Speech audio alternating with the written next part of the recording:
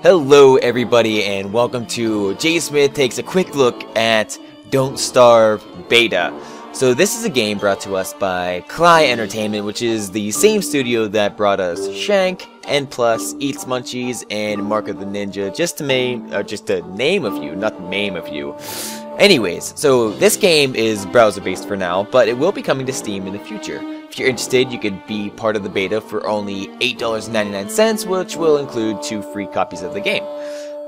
So a little bit more about the game, and I'm stealing this directly from the website. Um, Don't Starve is an upcoming survival exploration game. You play as Wilson, an intrepid gentleman scientist who has been trapped by a demon and transported to a mysterious wilderness world. Wilson must learn to exploit his environment and its inhabitants if he ever hopes to escape and find his way back home.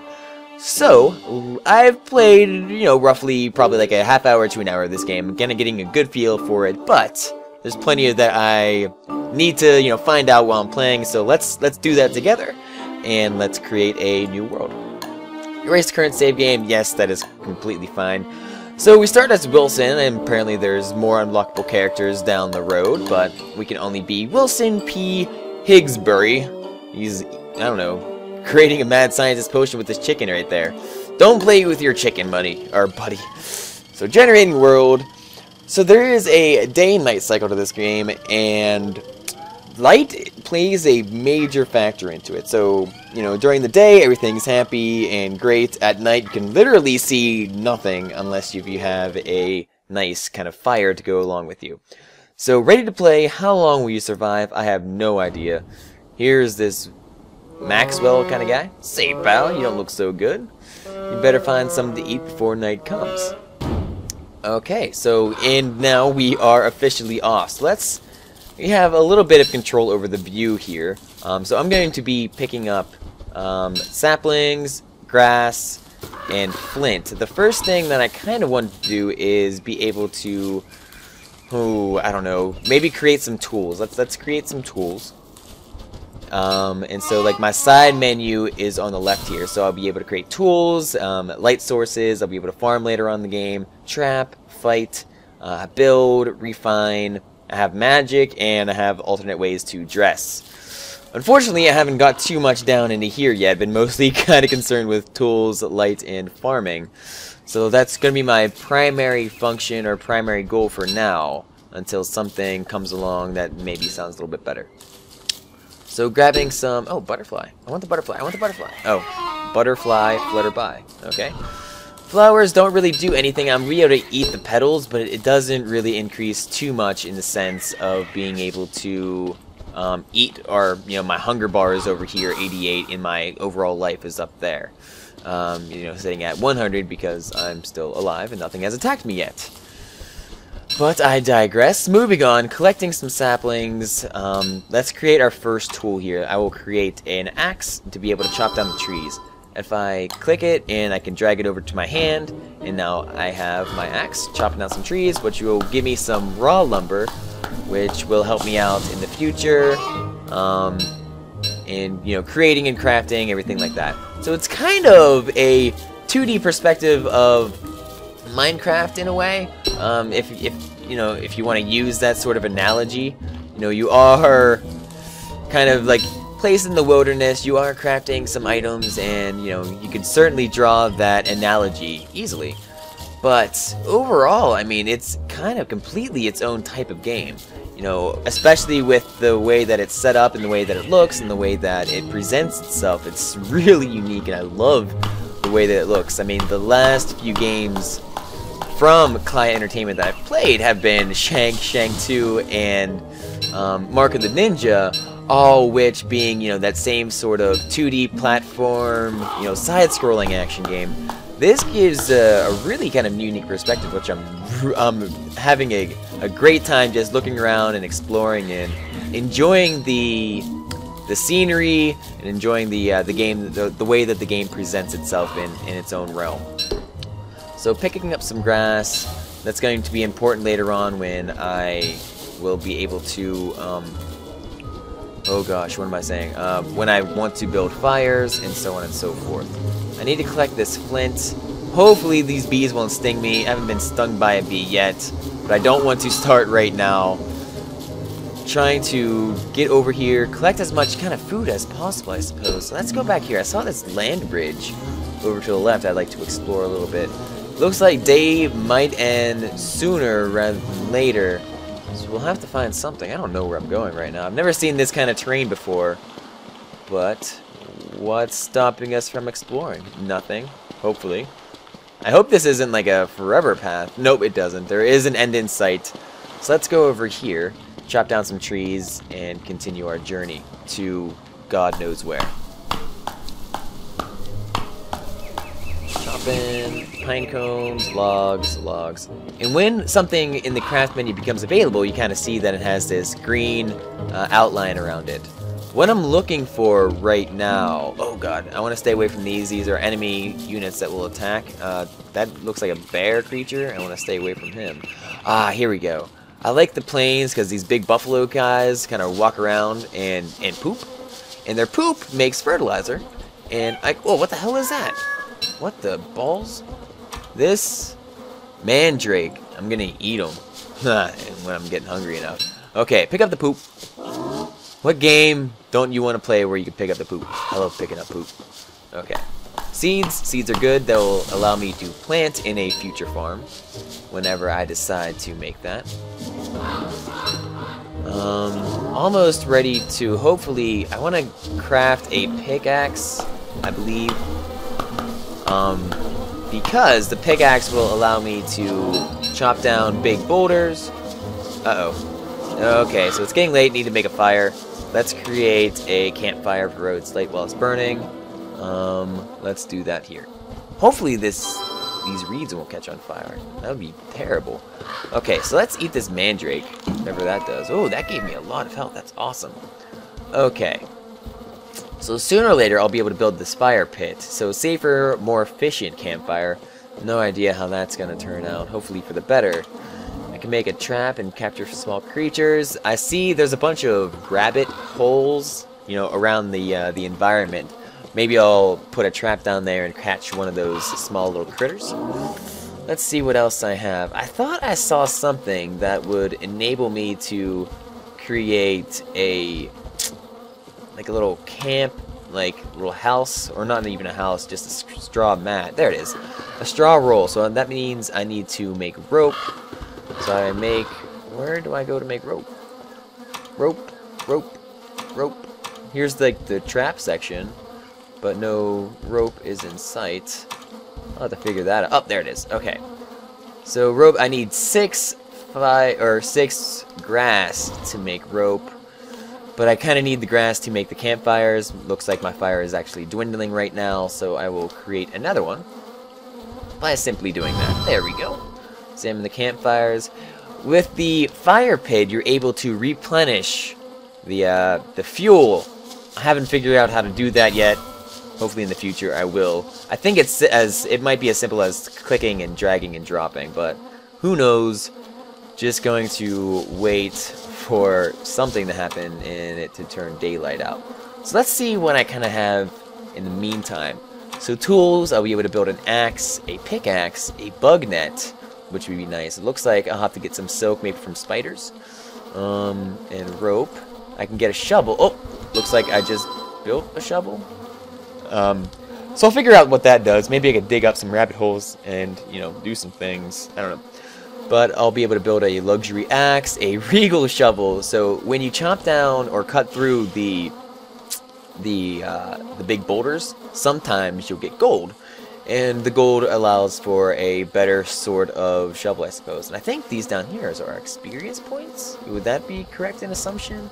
I'll have to check that out uh, and see. See, I have this little icon up here. I haven't quite figured out what it all does yet. Um, should I build another campfire? Looks like the daytime is almost going to come. Maybe I'll, I'll wait until something happens when I...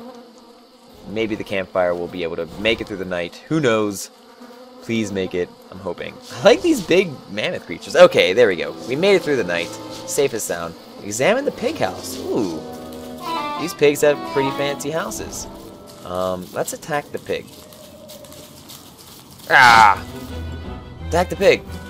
Attack the pig. Here, piggy, piggy, piggy, piggy, piggy. I'm gonna get you. I'm gonna get ya. Yeah. Let's go. Get. Kill the pig. Kill the pig. Kill the pig. Oh, there we go. Meat. Yay. Okay, what did I want to do now? I think I wanted to get some rocks. Or actually, I have this shovel. So let's equip the shovel and see what kind of things I could do with that. Um, doesn't look like too much from here. But I will continue looking. Maybe I'll find a rabbit hole somewhere. Or places pretty fancy houses. Maybe I shouldn't have killed him. But then again, the game is called Don't Starve.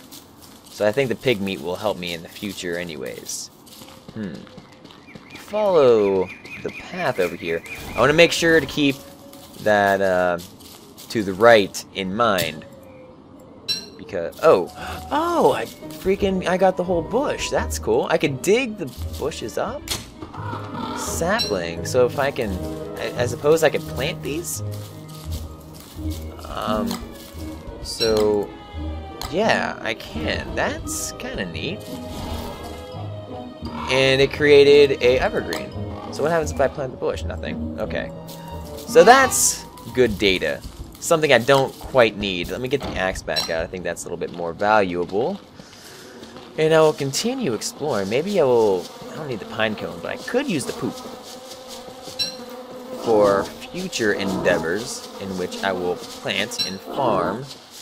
Got some seeds. I don't think I'm going to necessarily need seeds for much. But I would like, well, I mean, the seeds that I'm going to get in the grass, I don't think they're going to, oh, mandrake. Oh, there it is. I love those guys. They're so fun.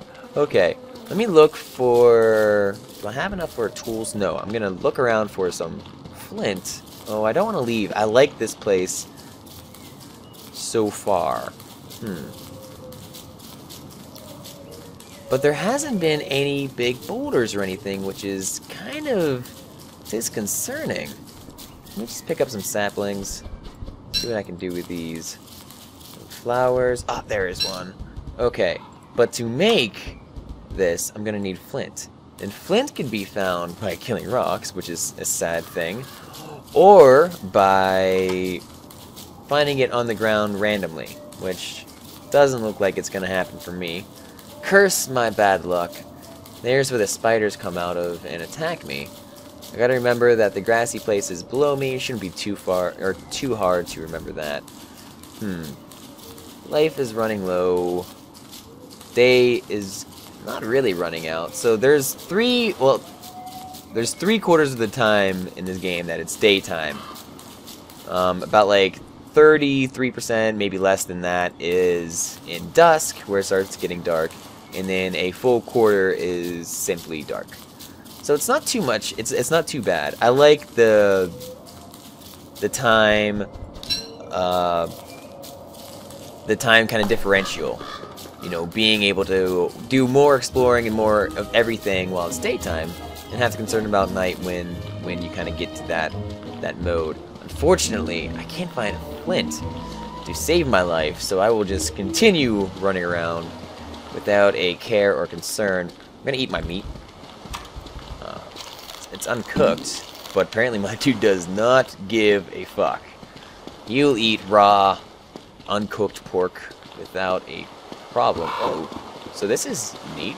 I love the art style to this game. I really think it's unique, and I really think it's cool. I haven't seen too much like it, especially in you know this kind of this kind of game, this kind of format. You know, hand drawn, kind of isometric. It looks really neat. I, I, can't say much except, you know, kudos to the developer, um, Entertainment. You are awesome, especially for sending me the email and, giving me this this invite to this game. I, I much appreciate that.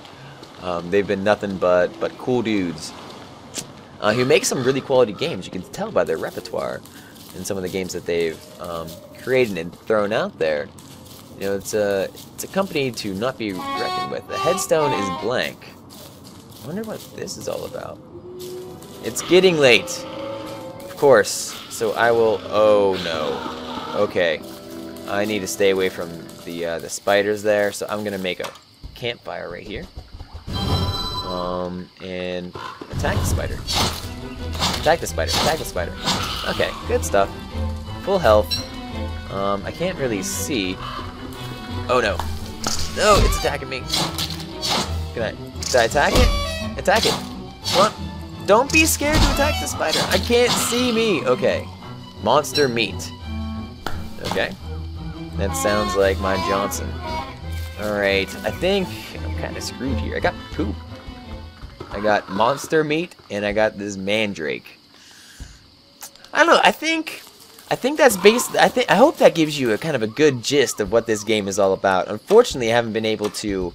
I wasn't able to show off everything, you know, mining in the boulders and getting rocks and stuff. But maybe, who knows? This this might turn into a, a let's play if this if enough people kind of request it, or if it's something that you guys would be interested in. It's a fun game. Highly recommended. If I don't do a let's play, certainly I I, I want to recommend that you guys all um, check out the game. I'm I'm having a blast with it so far. It's just a fun exploration game. Uh, and it's currently in beta. And I believe if you get the beta, you're you will be able to um, you have access to the full game at a lower price. The, the, when it comes out, it's going to be $14.99, maybe $15.99. But full price for you know one of their games is is similar to like along that vein. But check it out, and you know, uh, let me know what you guys think about in the uh, in the comments, and you know in the future. And if I'm missing anything, just give me some tips and tricks. Um, you know, anyways. Um, fun game, highly recommended it. Um, but that is going to be the end of this episode. Here's this spider. I hate spiders. This is exactly what I would say in this situation. I can't kill it. Can I hit it with a twig? Can I kill it with a shovel? Oh, I can. Oh, yeah, beat it with death with a shovel. There we go. That makes me happy. Alright, can I get the monster meat? Thank you. Um, can I eat the monster meat? I guess. So my health is going down. Let's see what happens when I die or when you go out into the wilderness. So you can't see shit, right? Um, except these little... Oh god! I have no idea what happened there. I think that was a pig? But I survived one day. XP 10. Uh, next reward. Oh, okay, that is cool. So when you die, I haven't died yet, surprise! Um, when you die, um, it calculates all your XP, I suppose, and then you are one step closer to, you know, unlocking your next character. So good stuff, check it out. Again, by Klei Entertainment, good developer, good dudes. Um, I am Jay Smith, OTI. Um, if you want to get in touch with me outside of YouTube, um, feel free to tweet at me. It's jsmith underscore OTI. Look at all these pigs. All right. Anyways, that's going to be it. Thank you guys for checking us out. And until next time, I'll see you later.